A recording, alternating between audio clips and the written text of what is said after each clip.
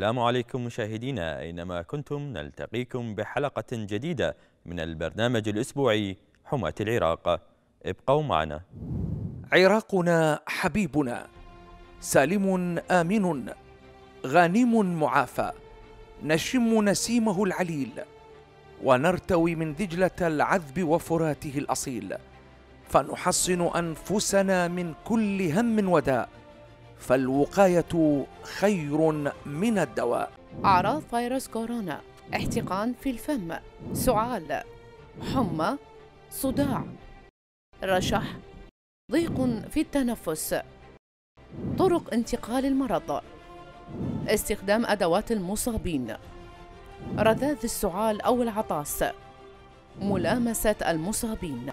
للوقاية من هذا المرض الفتاك. أعطت مديرية الأمور الطبية العسكرية جملة من الإرشادات وهي غسل اليدين جيدا بالمواد المطهرة. ارتداء الكمامات الطبية في الأماكن المزدحمة. استخدام المناديل عند السعال أو العطاس. تجنب ملامسة العينين والأنف والفم باليد. المحافظة على النظافة العامة. مراجعة طبابة الوحدة عند الضرورة. للحفاظ على سلامتك نرجو الالتزام بالإرشادات. بحضور معالي وزير الدفاع والسيد رئيس أركان الجيش عقدت رئاسة أركان الجيش المؤتمر الخاص بالعمليات والذي ضم السادة المعاونين المفتش العسكري وقادة الأسلحة وعدد من ضباط هيئة الركن في رئاسة أركان الجيش. حيث تناول المؤتمر مناقشة آخر المستجدات الأمنية التي تخص سير العمل في القيادات والفرق بالإضافة إلى المواضيع المطروحة على جدول الأعمال وأهمها التوجيهات الصادرة من قبل خلية الأزمة للحد من خطر انتشار فيروس كورونا المستجد والوقاية منه. استقبل معالي وزير الدفاع المقاتل الجريح نائب عريف ولاء كاظم مشكور المنسوب إلى الفوج الثالث اللواء الحادي والسبعين فرقة المشاة الخامسة عشر وأمر سيادته بعد اطلاعه بشكل مفصل على حالة الجريح البطل بإكمال كافة إجراءاته وتخصيص ضابط من فرقته لمتابعة حالته وإكمال المعاملة الخاصة به.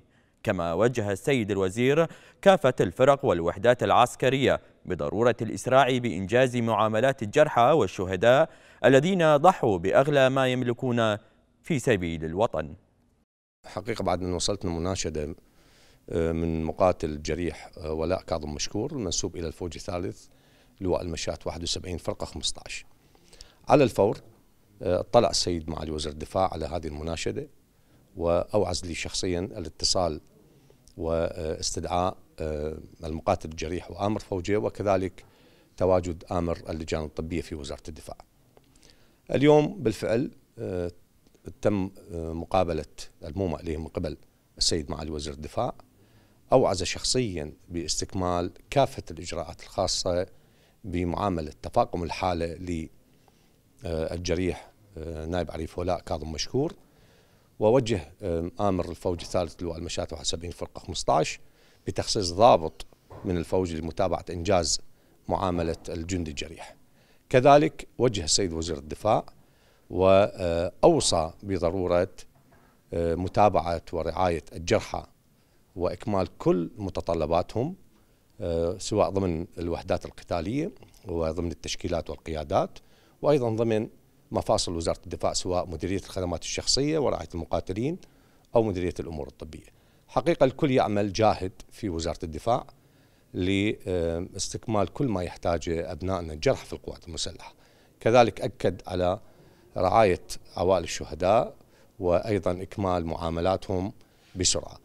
ناشدت السيد معالي الوزير وتم بإنهاء معاملتي ما يخص الجرحى وتم استدعاء من قبل مدير الإعلام لوزارة الدفاع والتقيت بالسيد معالي وزير الدفاع المحترم. وأوعز بإنهاء معاملتي وأوعز بتوجيه السيد آمر فوج لإنهاء معاملتي آه، الجرحى وأوعز بتخصيص مدير الإعلام لما يخص من تلكؤات أو يصدر شيء من معاملتي أو تعطيل. يعد صنف القوات الخاصة من الصنوف الفعالة والكبيرة في الجيش العراقي والذي يحظى بدعم السيد رئيس أركان الجيش ودائرة العمليات. الزميل نصير البحار أعد لنا هذا التقرير عن صنف القوات الخاصة. صنف شجاع ومميز. تضرب به الأمثال في البطولة وإنجاز المهام والواجبات الصعبة تحت شتى الظروف وأقساها. إنه صنف القوات الخاصة. وها هم بواسيله الأشداء. يتدربون وكأنهم يقاتلون. ويقاتلون وكأنهم يتدربون. رؤوسهم رماح. وسواعدهم يتباهى بها السلاح قادتهم فخورون بهم وداعمون لهم ولصنفهم البطل وهم يتفاخرون بعطائهم الوطني والبطولي في ميادين النصر والتضحية والفداء.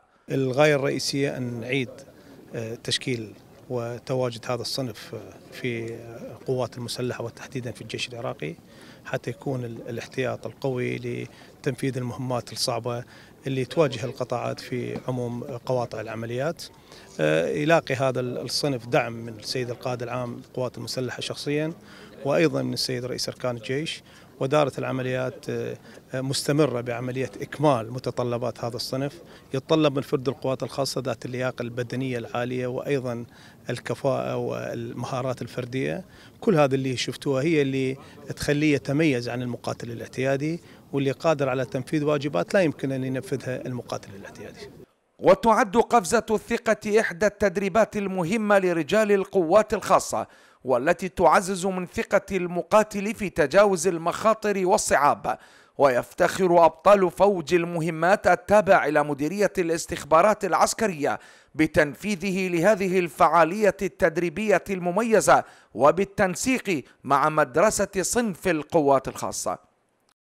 هذه القفزة تعتبر أحد التدريبات المهمة في التدريب على المخاطر. الغاية من هذه القفزة هي تنمية آه، آه، تنمية آه، يعني روح المقاتل في التدريب على المخاطر. هذه الفعالية جدا مهمة لهذه الأفواج. أفواج المهمات القاصة هي من الأفواج اللي كان تدريبها متميز طيلة الفترة السابقة. وهذه الأفواج كانت تتابع من ناحية التدريب والتسليح والتجهيز من قبل السيد رئيس أركان الجيش المحترم والسيد معاون العمليات المحترم والسيد مدير الاستخبارات العسكرية المحترم. تقوم مدرسة القوات الخاصة بالتنسيق مع مديرية الاستخبارات العسكرية بتنفيذ قفز من جسر 14 رمضان لمنتسبي آه، لواء المهمات الخاصة مديرية الاستخبارات العسكرية. يعتبر هذا التمرين من أهم تمارين القوات الخاصة كونه ينمي ويزرع الثقة داخل المقاتل. ومن أجل إكمال منهج التدريب للمقاتلين المشاركين بدورات مراكز التدريب نفذ المتدربون فعالية الصاعقة وهي إحدى التدريبات العنيفة وبإشراف وتوجيه كوادر مدرسة صنف القوات الخاصة وفي جميع مراكز التدريب لرفع معنويات المقاتلين والوصول بهم إلى المستوى التدريبي الذي يؤهلهم لإنجاز الواجبات القتالية بأقل الخسائر وبنجاح تام. توجيه كوادر القوات الخاصة مدرسة القوات الخاصة للتوجه إلى كافة مراكز تدريب في عموم العراق لتدريب المقاتلين على دورة الصاعقة اللي تتضمن عدة فعاليات منها التدريب العنيف وميدان الحلقة والاشتباك وميدان الحربة والقتال الأعزل والاقتحام وعمليات آه، القوات الخاصة إضافة إلى دروس تعبوية وفنية. دورة الصاعقة اللي هي أسبوعين تدريب صاعقة والتي شملت القتال الأعزل والميادين العنيف والميدان الأمريكي وحلقة الاشتباك. والغاية من هذا التدريب هو تطوير القابلية البدنية والذهنية لدى المقاتلين. ويبقى صنف القوات الخاصة من الصنوف التي تخط بطولاتها بأحرف من نور وبعزيمة أسود الصنف الغيارة. الذين يلمعون كالنجوم في ليل السواتر والميادين وكخيوط الشمس في رحاب النصر والسلام. لبرنامج حماة العراق نصير البحار.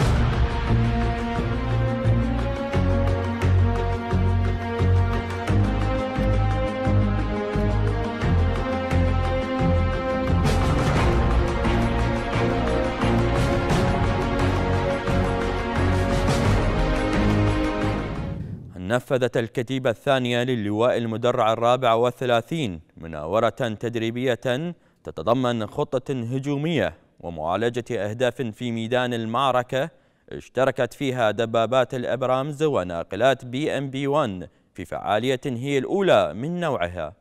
تفاصيل أكثر مع الزميل سلام الربيعي.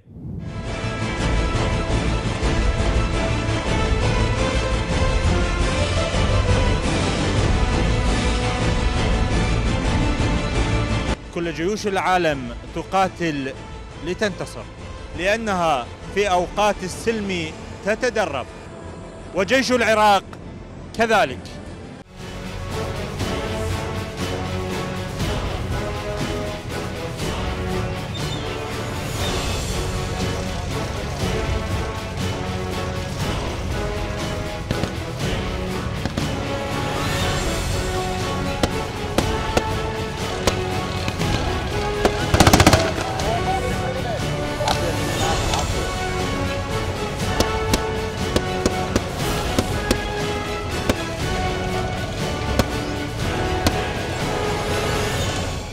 أنا أشوف اليوم التمرين يعني قريب من أرض الواقع. هذه المنطقة صحراوية بها إدغال بها يعني آه، هواي تضاريس مختلفة. صحيح هاي تحاكي لارض المعركة. تسمى هاي تجحف مجموعة قتال. تشترك بها اضافه سرية إلى إضافة رعيل فصيل من مشاة الآلي. تدريب تعبوي مستوى سريه الدبابات. التدريب الأساسي هو في التقدم والهجوم السريع والهجوم المدبر لكن أثناء ذلك أكو عدة تعاليم طبقناها. مثل اقتحام المناطق المبنية، معالجة العبوات الناسفه، رد الفعل تجاه نيران المدفعية وما إلى ذلك من هذه التمارين. اذا آه، مشاهدينا الكرام شاهدتوا هذا التمرين لدبابات الأبرامز والبي إم بي 1 آه هذا التمرين المشترك بين هاتين النوعين من الدبابات الليل قادم والتمرين مستمر.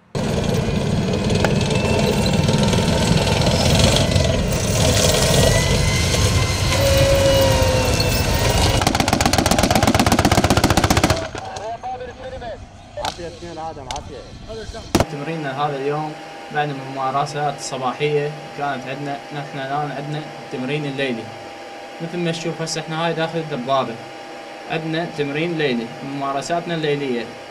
يمكن نستهدف العدو من خلال النواظير الحرارية. عندنا ناظور السائق الحراري ناظور الرامي الحراري الذي يمكن كان به العدو.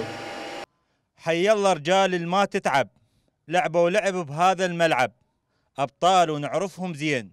بالشدات سيف مجرب. سلام ربيعي إعلام وزارة الدفاع.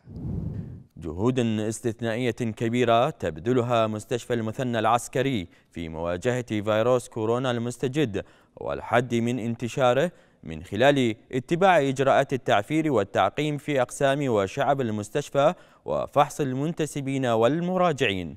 تفاصيل مع الزميلة حنان محمد. تستمر مستشفى المثنى العسكري بإجراءاتها الوقائية والاحترازية والحد من انتشار مرض فيروس كورونا وتوعية وتثقيف المنتسبين والمراجعين لتجنب التماس المباشر والمخالطة مع الأشخاص المصابين بالأمراض التنفسية وملامسة أدوات المريض بلمس الفم أو الأنف أو العين. تستمر مستشفى المثنى العسكري بكافة كوادرها الطبية والصحية في الوقاية والحد من انتشار مرض كورونا فيروس. عمل مستشفى المثنى العسكري اتخذ اتجاهين. الإجراء الأول الإجراء الوقائي اللي يتمثل بتعفير وتعقيم كل مرافق المستشفى وكذلك الدخول والخروج إلى المستشفى. والشق الثاني التثقيفي لكافة المنتسبين والمراجعين إلى المستشفى إجراءات وتطهير لمستشفى المثنى العسكري بفحص المراجع وتعفيره وتطهير المستشفى بالمواد المعقمة مرتين باليوم على الأقل وإجراء الفحص المختبري للعاملين الصحيين ولبس الكمامة الطبية وتغطية الأنف والفم عند العطس والسعال. والحمد لله لم تسجل أي حالة بين صفوف منتسبي الجيش العراقي. نعقم التعفير الأولي ثم يتجه لخيمة الرصد الخارجي يتم تعقيمه وتعفيره وبعدين يقاس درجة الحرارة.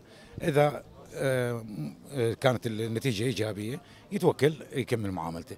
سلبية عندنا قسم خاص للحجر الأطباء يفحصون الدرجات المطلوبة ويتحول للمستشفيات الخاصة. إنه عدم ملامسه ملامسة الأشخاص وترك السلام والمصافحة بالأمور كالأمور الاعتيادية لتجنب هذا المرض. اعلام وزارة الدفاع حنان محمد.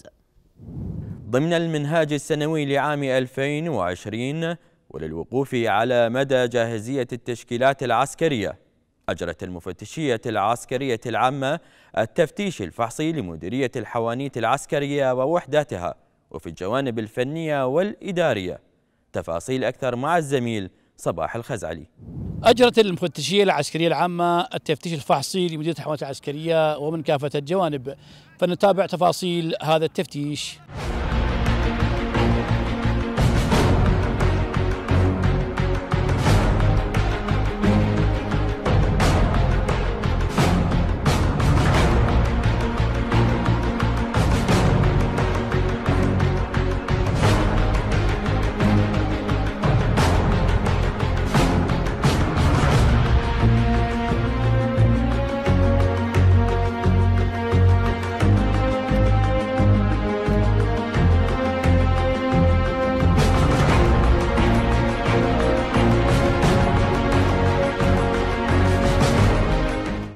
خطة تفتيش عام 2020 تقوم المفتشية العسكرية العامة بإجراء التفتيش الفحصي لمديرية الحوانيت العسكرية ووحداتها انقسمت مجموعة التفتيش إلى مجموعتين. المجموعة الرئيسية في مديرية الحوانيت لإجراء التفتيش على جوانب عمل المقر وجانب التدريبي والجانب الفني والجانب الإداري والجانب الاختصاصي. والغاية من التفتيش المديرية ووحداتها هي للوقوف على أهم السلبيات والمعاضل والإجراءات المتخذة من التفتيش السابق. استقبلت مديرية الحوانيت العسكرية إحدى تشكيلات دائرة معاونية الميرة مجموعة التفتيش المفتشية العسكرية العامة المحترمون من أجل الوقوف على عمل وواجبات المديرية. من كافة الجوانب الإدارية والفنية والتدريبية والاختصاصية وكانت الدائرة في أتم الجاهزية والاستعداد لهذا التفتيش الفحصي الذي يسهم في تطوير أداء مديرية الحوانيت العسكرية وتلافي المعاضل والسلبيات.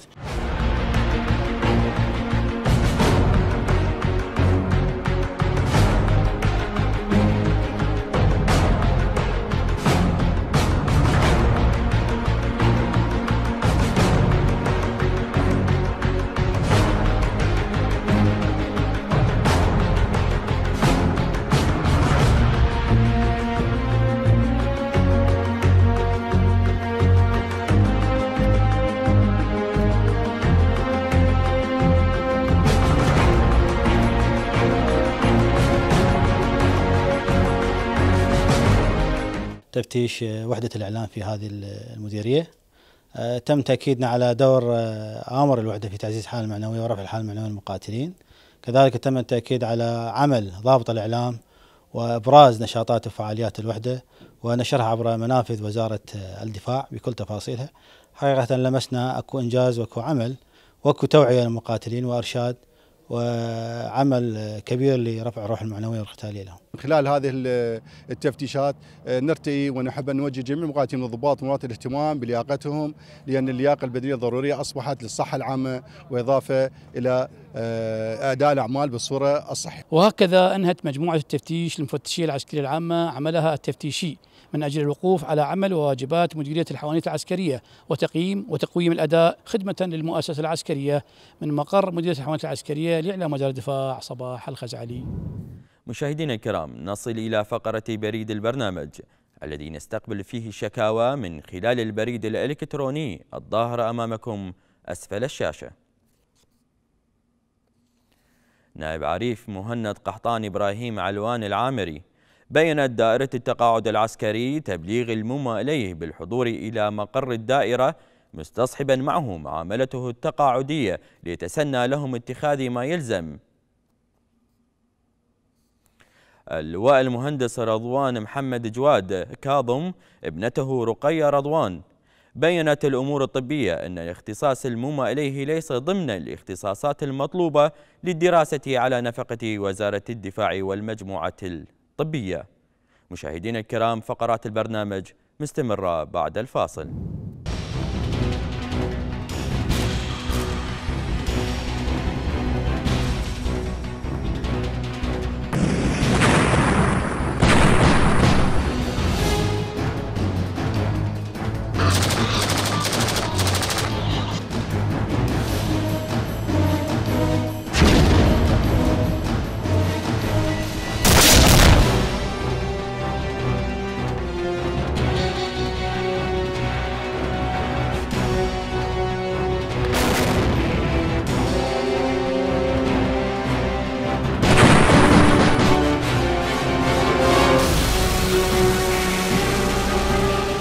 أهلا وسهلا بكم من جديد. اللواء المتقاعد فاضل علوان شاطي بينت رئاسة أركان الجيش أن المومى إليه مؤشر بقاعدة البيانات أن نسبة العجز هي 70% لا يصلح للخدمة العسكرية. رئيس عرفاء جريح يوسف علي أكبر حسن ساعد. بينت معاونية الإدارة أن المومى إليه مصنفا طبيا من الدرجة الثانية ونسبة عجزه 50% أثناء الخدمة ومن جرائها ولا نوافق على نقله وإبقائه في وحدته الحالية كونها تتلائم مع حالته الصحية. المواطن علي محمد جبل رسن والد الشهيد حسين علي محمد بينت دائرة الإدارة التقاعد العسكري أنه مؤشر جريح حشد شعبي والحالة إلغاء تعيين.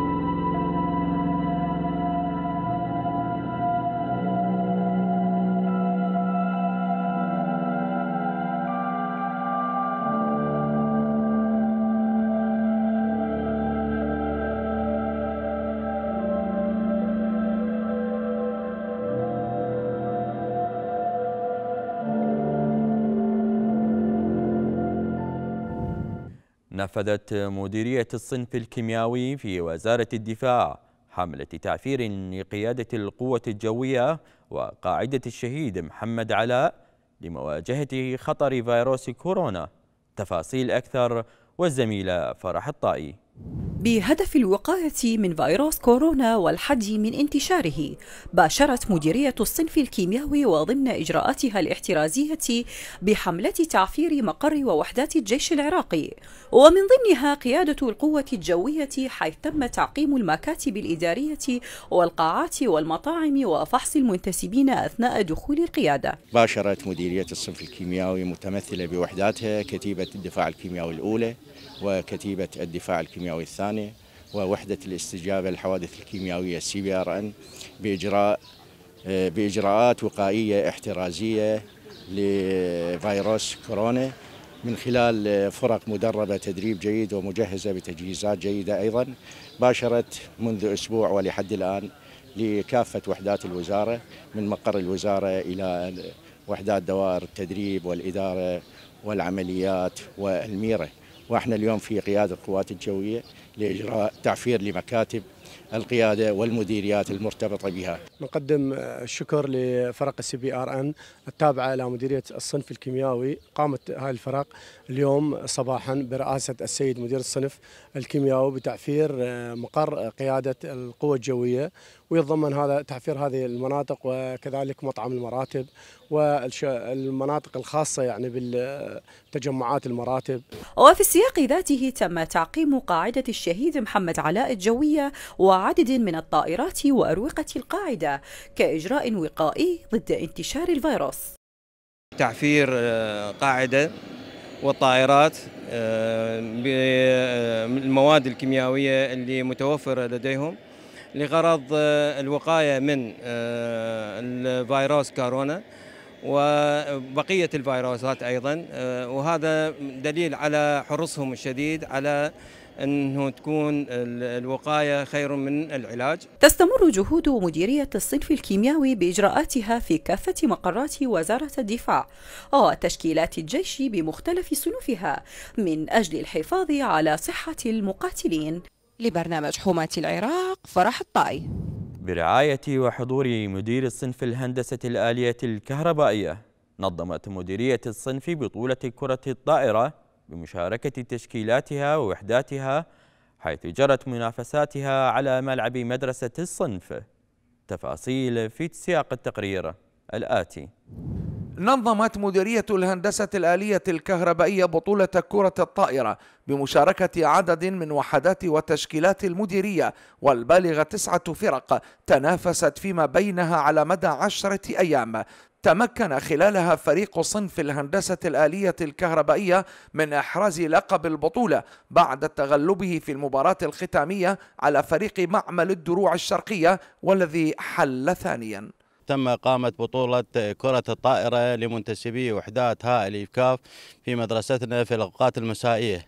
وذلك لرفع الروح المعنوية للمقاتلين ولخلق روح المنافسة بين وحدات صنف هاء الإيكاف البطولة شهدت تنافسا بين الفرق المشاركة والتي كانت تجري مبارياتها بعد انتهاء الدوام الرسمي وكانت البطولة تهدف إلى رفع القابلية البدنية للمقاتلين وخلق روح المنافسة.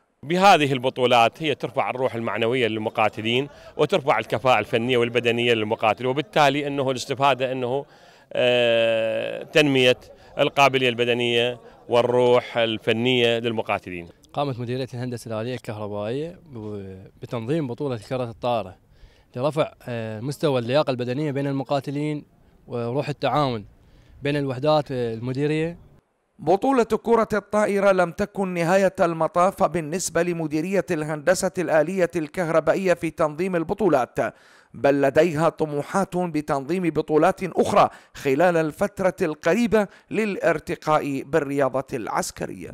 مشاهدينا الكرام فقرة ليلة مقاتل لهذا الأسبوع عدها لكم المقدم محمد الطائي مع مجموعة من المقاتلين الأبطال في آمرية التموين والنقل لقيادة فرقة المشاة الخامسة. أهلا بكم أعزائي المشاهدين في ليلة مقاتل. ليلتنا اليوم راح نقضيها في آمرية تموين ونقل الفرقة الخامسة فكونوا معنا إحنا وياكم.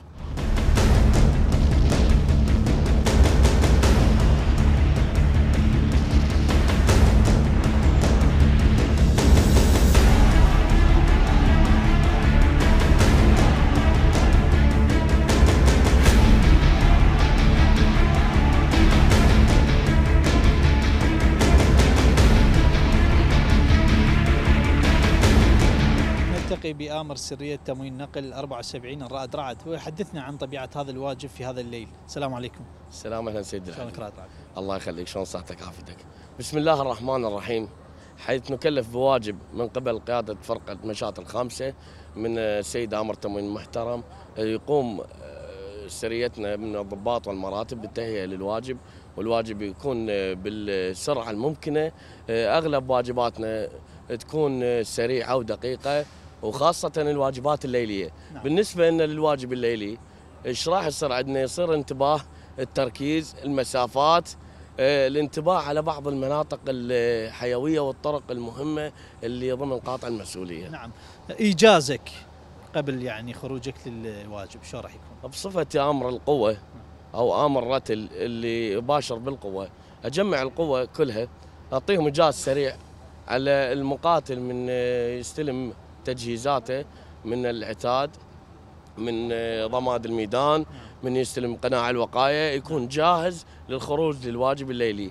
بالإضافة إلى العجلات تكون بتامة الجاهزية للتنفيذ الواجب بالصورة الصحيحة.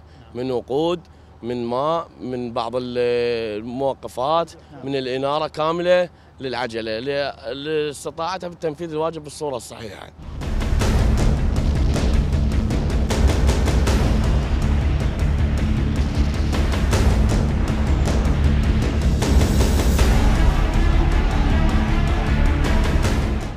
أعزائي المشاهدين ونحن باقين وياكم في هذا الليل حيث نلتقي بأحد المقاتلين اللي سايق على هذه العجلة. السلام عليكم. عليكم السلام ورحمة الله شلونك؟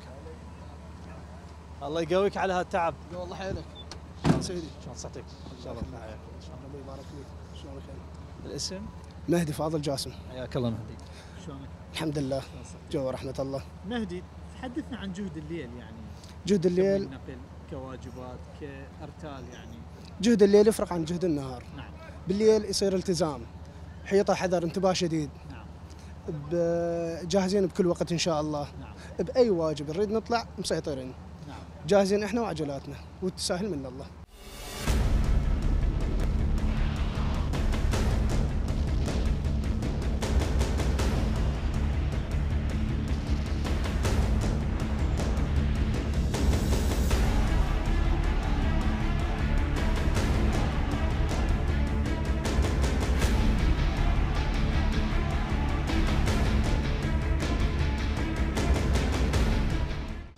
السلام عليكم. عليكم السلام. شلونك عريف حمدان؟ الله يسلمك سيدي. شلون صحتك؟ الله يرضى عليك سيدي. الله يقويك على هذا التعب. الله رحم الله والديك سيدي. عريف حمدان بالنسبة يعني واجباتك بالليل إيش كم مرة طالع بالليل كسياقه كواجب؟ والله سيدي هواي يعني ماكو عدد. نعم. يعني أنت خبرة بالليل الشيك يا سيدي. وبالسياقة خاصة. وبالسياقة خاصة. يعني أنا صنف سايق. نعم. أي أطلع ثلاثة من الليل أربعة خمسة مو سوا حسب الأمر الآمر وآمر رتل نعم. حسب التبليغات. نعم. يعني يردون الساعة بالخمسة بالخمسة بالستة بالستة. نعم. أي.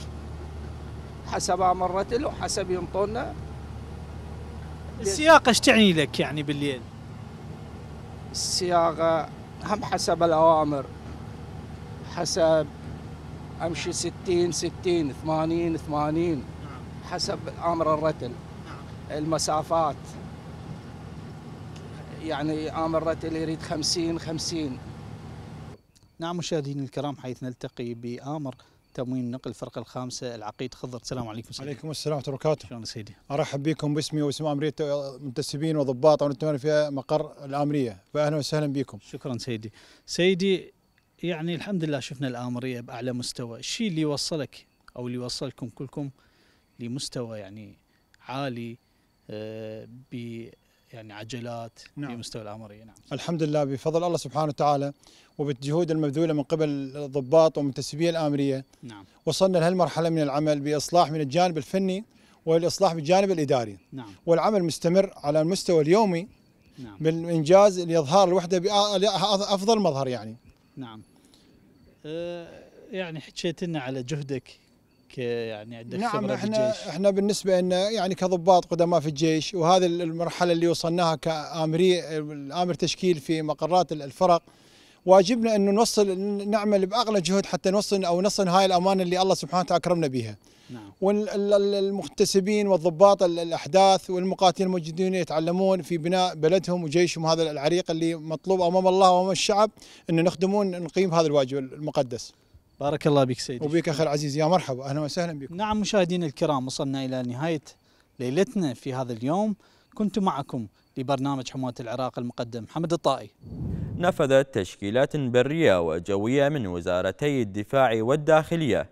تمرين وثبة الأسد والذي تضمن كيفية تعامل القوات الأمنية مع التهديدات الإرهابية.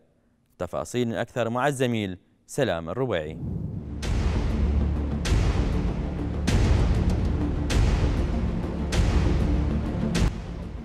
ماذا لو تعرضت إحدى قواعد القوة الجوية العراقية لخطر التهديد لا بد للقوات الأمنية أن تتدخل.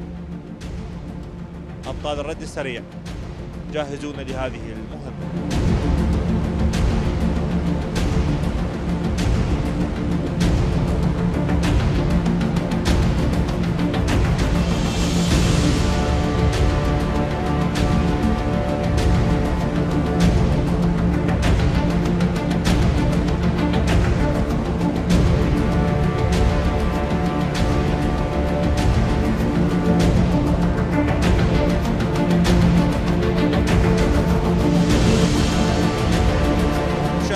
الكرام إعلام وزارة الدفاع يوثق آه، تمرين وثبة الأسد، هذا التمرين هو يتضمن تعرض قاعدة الأسد الجوية إلى تهديد من قبل الإرهابيين وهذه القاعدة تطلب الإسناد من أبطال الرد السريع الذين يصلون عبر هذه الطائرات طائرات السي 130 آه، بالتنسيق مع أبطال سرب 23 آه، هذه القوات المحمولة جوا آه، وصلت إلى قاعدة الأسد الجوية وستباشر بتنفيذ مهامها اللي تتضمن القضاء على العناصر الإرهابية ودرء الخطر عن قاعدة الأسد الجوية. إعلام وزارة الدفاع بالصوت والصورة سيوثق لكم هذه الفعالية.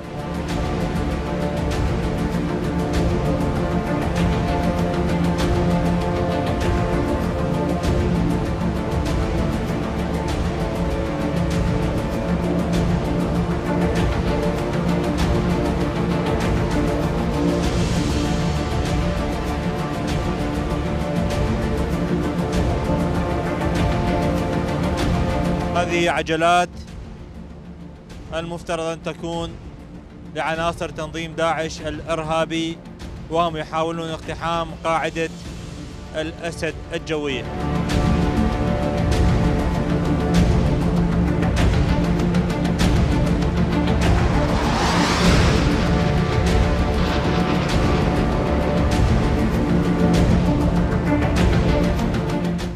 بتوجيه من السيد رئيس أركان الجيش المحترم تم تنفيذ آه، تمرين وثبة الأسد آه، حسب نشر التدريب الصادر ل 2020 بأن آه، تعاون قيادة القوة الجوية وقوات الرد السريع.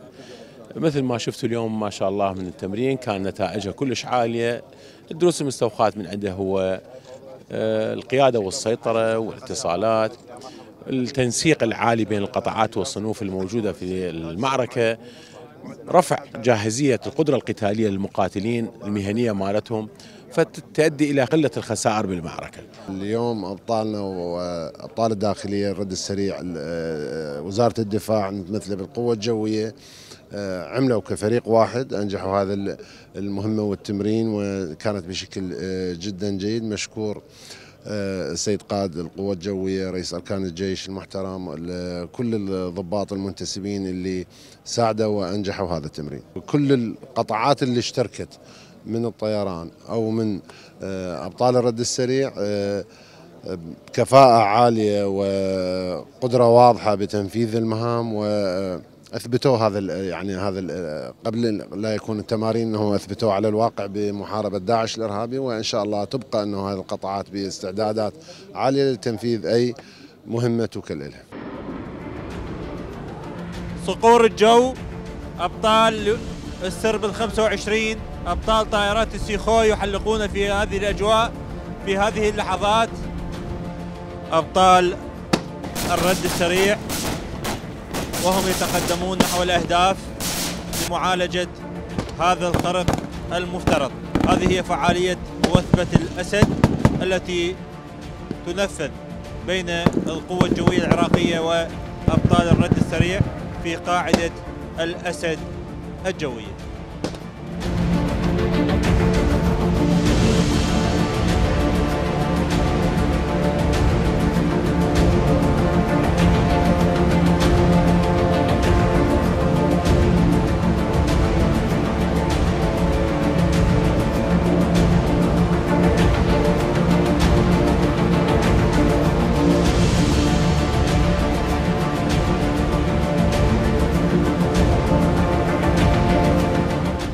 هذه التمارين مثل ما تعرفون هي تقوي ال- التعاون الكامل بين القوات المسلحة العراقية سواء كانت آه، من ال- وزارة الداخلية أو وزارة الدفاع.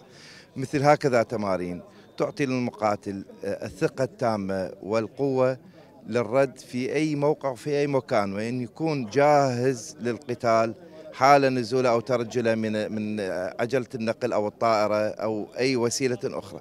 كان التمرين مثل ما لاحظتوا أنه نقل قطاعات من بغداد من قاعدة الشهيد محمد علاء الجوية إلى قاعدة الأسد الجوية بعد أن تعرضت قاعدة الأسد الجوية إلى تهديد من قبل العصابات الإرهابية، تم نقل القطاعات وإنزالها في قاعدة الأسد الجوية وانفتاحها والقضاء على التهديد الإرهابي، أيضا اشتركت طائرات السيخوي 25 بتنفيذ ضربة جوية على القطاعات المعادية وتم تدمير الهدف. بالصوت والصورة إعلام وزارة الدفاع وثق لكم وثبة الأسد التي أظهرت القدرة العالية للقوات المسلحة في التعامل مع العدو.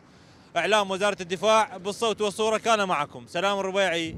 مشاهدينا الكرام نصل إلى نهاية فقرات برنامجنا لهذا الأسبوع. انتظرونا في الأسبوع القادم. إلى اللقاء.